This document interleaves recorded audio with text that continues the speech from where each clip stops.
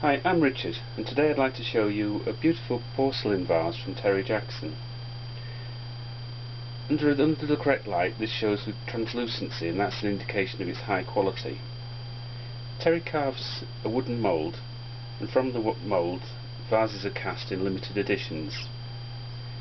Terry is a métis carver who's lived for many years on the west coast and he draws on his background for his designs. As a métis its origins are half white and half Cree. The white settlers didn't have any time for art, but they did used to decorate their artifacts and their gun butts with delicate scroll work and spiral forms. The stepped curve is typical of a Cree design and Terry mixes his, this background with the West Coast culture that now surrounds him.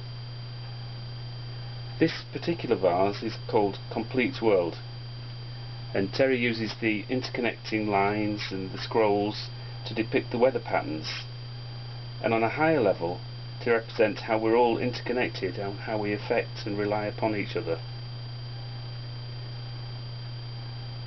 Terry expresses a world where different parts mix and where each part balances another, whether in art or in life. And this piece costs 164.95.